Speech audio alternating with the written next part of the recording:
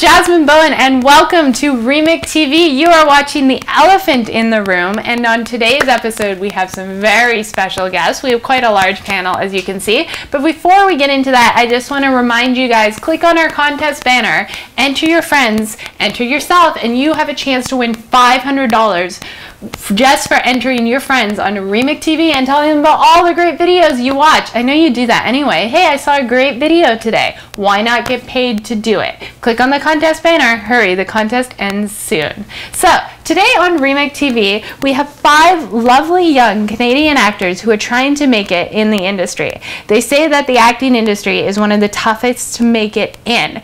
And we wonder how can that be true when you see hundreds of Hollywood stars who are famous for nothing making thousands upon thousands of dollars. These actors are here to tell us that it's true. So, welcome guys. Thanks for being on the show.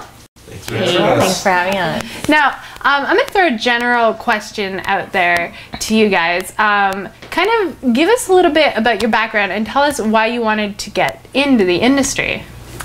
Well, I'm from Kuwait. I mm-hmm. just moved here a year ago. Uh, I am Canadian, but I grew up in Kuwait.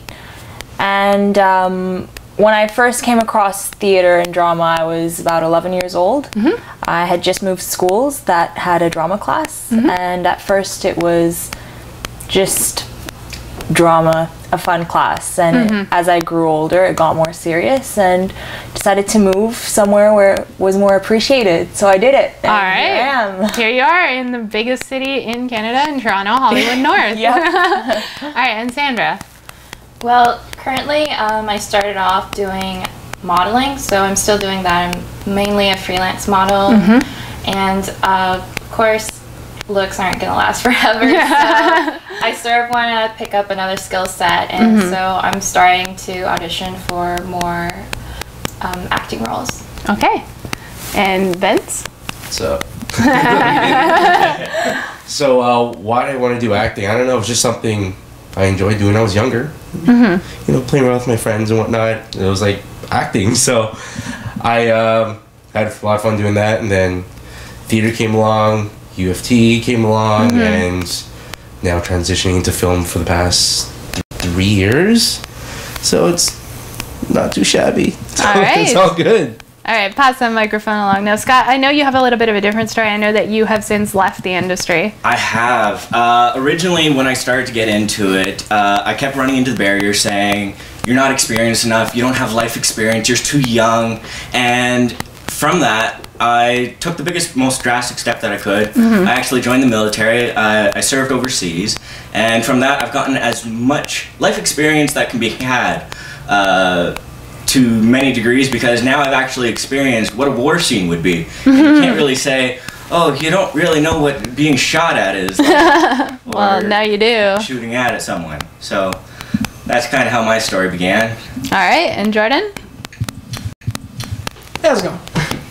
Um, basically, I started off uh, in elementary school, as a lot of people do. You just go through school and then uh, translated into high school, and you kept doing that. So I was like, okay, I'll go and go to you know post secondary for, and that's where I did that. So mm-hmm. I mean, I did it, I guess, because uh, it's something I enjoy, and obviously I'm not in it for the money because I don't have any money.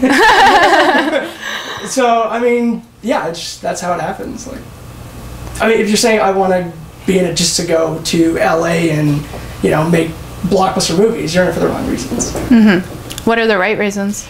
Um, it's just something that you have to do um, instantly. Like some people are like, excuse me, some teachers they'll be like, "Oh, you have a great outlet. Go do theater." Uh-huh. Uh, they'll like, "Oh, okay." They'll have that idea of like, "I want to go to Hollywood," so I'll just use actually a funny yeah. talent or I'm a serious person. Uh-huh. But they do it without you know going to uh, community theater or anything like that to get the experience to really see if they mm-hmm. actually like it. And I think if you actually have a passion for this business, then you'll do it regardless and do it for free, like probably the five of us that are doing it. All right, now I know that there's a lot of hurdles out there in the industry. so this is open general question. You don't have to go in order, but what is one of the biggest hurdles you guys have experienced? Uh, for me, it would have been uh, just where I was, location-wise. Being in Ottawa, it was mm-hmm. quite difficult. Um, also, that it, the industry is not as prevalent as it is out here. Uh, for me, the life experience. That's Uh-huh. where I kind of hit the biggest hurdle. Right. They would always say, "Oh, you're not experienced in comedy enough, or you don't have experience in this or that." So from there, I, I very much have had to expand on my horizons. All right. What else? Definitely, I agree. Um, the location where you're at, and that's why Yeah. Mm-hmm. I moved to Toronto. Um, in Kuwait, there was just barely anywhere I could do theater. It was just either in school or in university, and that was it. There was nothing outside of that. Mm-hmm. So um, there's a lot more opportunity here. It's still really difficult. Mm-hmm. Uh, I would also say money is a big issue. It's hard to keep a job that will pay the bills and be able to find time to act. That's another problem. Yeah. What else? Is there anything? Yep. there's with hurdles wise there's a lot that uh, that i've experienced with there's certain things such as obviously a lot of us touched on like you know, experiencing this sort of character or this sort of you're basically typecasted sometimes Okay, you're typecasted. sometimes right. your typecast is like yeah i usually get the funny guy Okay. i have no problem with it whatever Fair enough. but you also want to try out to do something else to show yourself, to show what skills you have, and sometimes people don't want to take that chance with it, and they're just like, yeah, you know what, uh, you're not good for it. You know, that's not, that's like one of the things I've experienced. Second one would be you find sometimes you get sketchy people. Oh. You sometimes run into sketchy. You guys people. are all laughing. Have you seen the sketchy people? they're just they seem they're basically good sellers is what it is because we know in the, in the industry there was you know some agencies are very untrustworthy and also that goes along with productions too mm-hmm. some people are just i don't know it's like they're sort of like con men almost in a mm. way right it's like they're i don't know you just really can't almost in a sense trust some people yeah. we work with, you know, they promise you something and then you'll fall through on it. Yeah. And it's kind of heart wrenching because, you know, you put your time and effort into it and certain things such as like payments. Mm-hmm. You know, if they say, oh, you're going to get paid X amount of dollars and you don't even see a penny of it, it's like, wow, you know.